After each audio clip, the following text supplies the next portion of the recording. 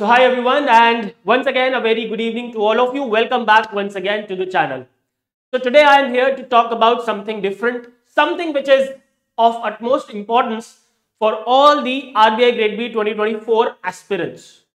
These days uh, the interviews for RBI 2023 batches are going on and we are also conducting the mock interviews for this batch. So I remember last weekend when I was taking the interviews so I asked a very basic and very simple question to almost every candidate. And the question was, why do you want to join RBI? Isn't it a very basic and simple question? Because if I want to join any particular organization, I should know that why do I want to join that organization? But surprisingly, I did not receive a perfect answer. मेरे को कोई perfect answer नहीं मिला. Some random answers were there. Some people were saying that I want to join it because it is giving me, it, it will give a very handsome salary. Some people said that I want to join it because I am from the commerce background. Some people said that I want to join it because it, it, it provides a, a decent work-life balance. Some people said that I just want to join it because it is a government job. So I did not receive a perfect answer. So guys, let me tell you before joining any particular organisation like RBI और सेबी और नबार्ड और any XYZ organisation you should have clarity of purpose अगर आपके पास clarity of purpose है, तभी आप उस organisation को ज्वाइन कर पाओगे। Otherwise otherwise you will feel you will get demotivated during your preparation only ऐसा होता होगा आप लोगों के साथ that you start getting demotivated after a while एक महीना पढ़ा उसके बाद demotivation आ गई why does it happen have you ever realized it why does it happen because the purpose is missing right the purpose is missing so here i would like to uh, tell you the example i here i would like to take an example of the great mahendra singh dhoni Mahendra Singh Dhoni के पास एक सरकारी नौकरी थी and जिस area से वो belong करते हैं रांची झारखंड तो ऐसे एरियाज़ में यूपी बिहार झारखंड स्पेशली यहाँ पे गवर्नमेंट जॉब करने वाले को ना भगवान माना जाता है। If I have a government job then I have everything people consider this ऐसे माहौल में भी, ऐसे एरिया से बिलोंग करने के बाद भी उनका जो पर्पस था, उसको उन्होंने priority the and he chose to play cricket and we all know कि आज वो कहाँ है। नाउ आप ज़्यादा दूर मत जाओ, आप आरबीआई जाना चाहते हो तो आप डॉक्टर रघुराम राजन का एग्ज़ाम्पल ले लो। डॉक्टर रघुराम राजन का आप एग्ज़ाम्पल ले लो कि doctor Raghuram Rajan was the governor of R B I right we all know but he resign from that post why because the things were not going on according to his purpose according to his purpose जो उनका purpose था life का objective था M था vision था, उसके हिसाब से RBI was not working at that time and he decided to resign it from it and pursue his goal pursue his purpose right So basically what I want to say is that you have that clarity of purpose if you want to join the RBI. If you want to work for a positive change, if you want to work, if your vision aligns with the vision of RBI, if your aims and objective align with the aims and objectives of RBI, if your goals are aligning with the goal of RBI, then you should be preparing for RBI and you should be joining the RBI.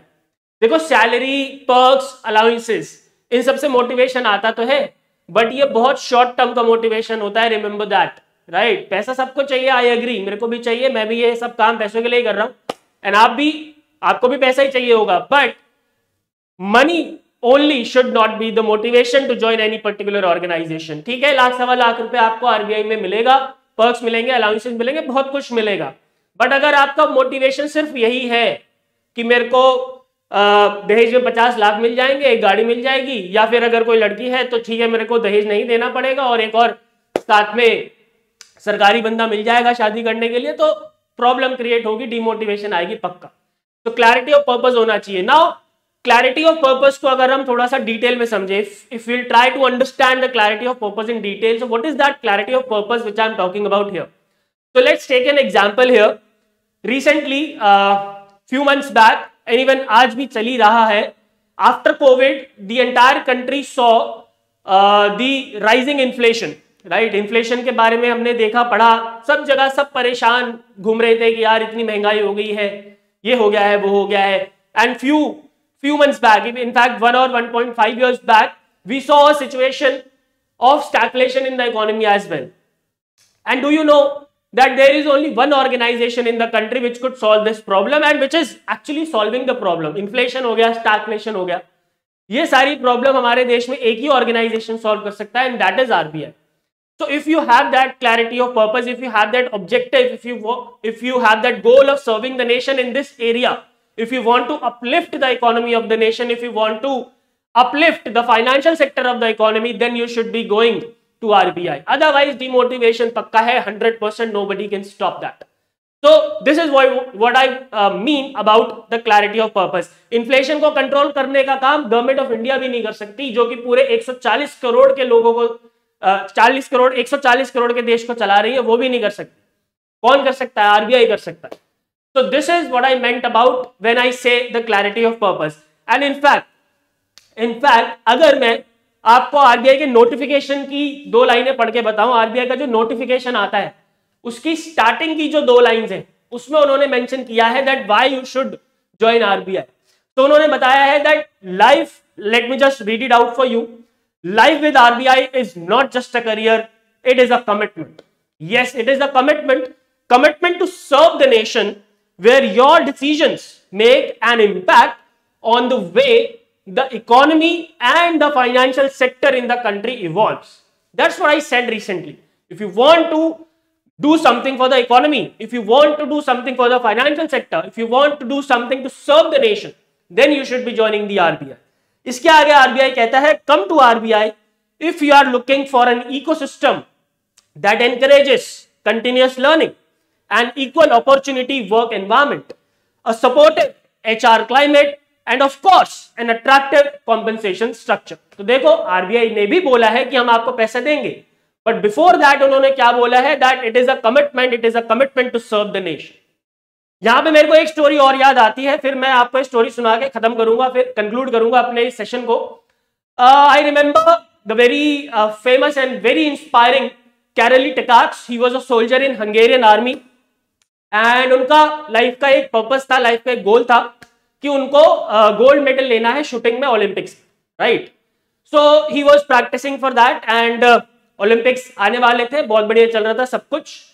But during a mock drill एक क्योंकि वो army में थे तो mock drill के time पे grenade uh, एक grenade उनके हाथ में फट गया और उसी हाथ में जिससे वो शूटिंग करते right the same hand with which he was practising the shooting a grenade was blasted in in that hand only अब मेरे अगर आज मैं राइट हैंड से लिखता हूँ तो अगर मेरे आज राइट हैंड में फ्रैक्चर भी हो जाएगा ना तो आई थिंक मैं दस दिन के लिए घर पे बैठ जाऊँगा।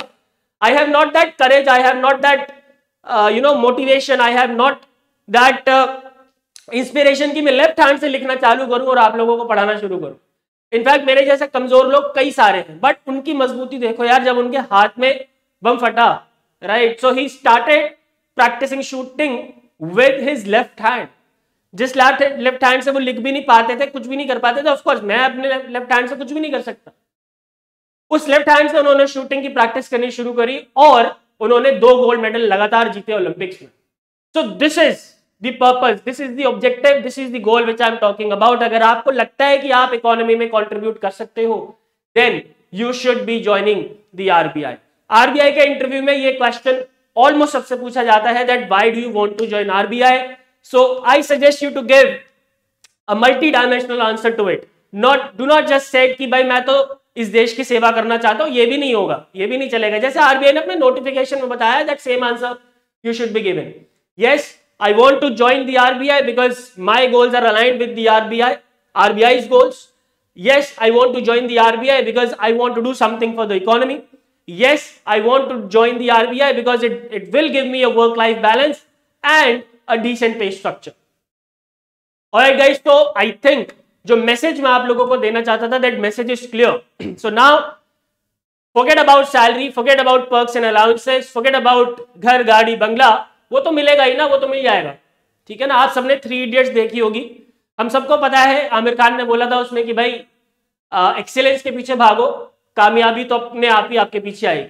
तो यहाँ पे मैं ये कहना चाह रहा हूँ कि बस अपने पर्पस अपने पर्पस में क्लैरिटी रखो, पैसा और बाकी चीज़ें पर्क्स एंड अलाउंसेस तो अपने आप आते रहेंगे और right So this is all guys which I wanted to discuss in this particular video. I hope that you guys now will identify your purpose of joining the RBI.